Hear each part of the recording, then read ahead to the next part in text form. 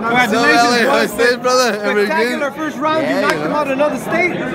That's it, you know what I mean? The guy came here, he wanted to throw bombs, you know, and uh, as I says earlier on the week, if he wants a war, he's going to get a war, and that's exactly what he got. What's the new record right now? 12 and 0 with 10 knockouts. That's badass. On the rise, on the rise. Okay, who's the biggest Conor McGregor fan? Right, lads! For Quigley fans, for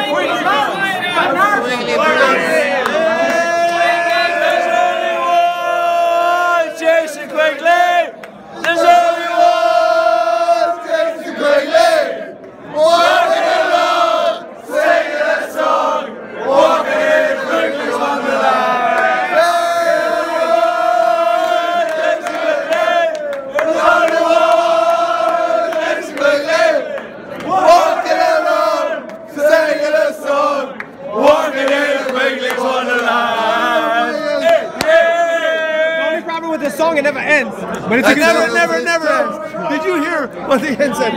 They said, walking here Quigley, Wonderland.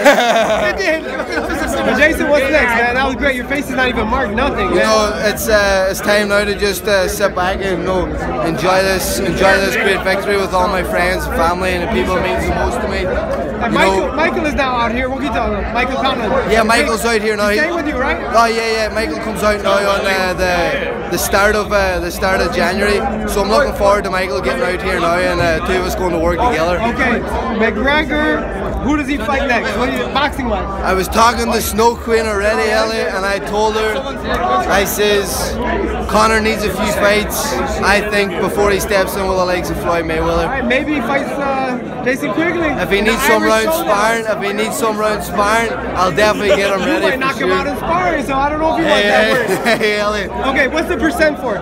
The percentage is, get it? What's the percentage for?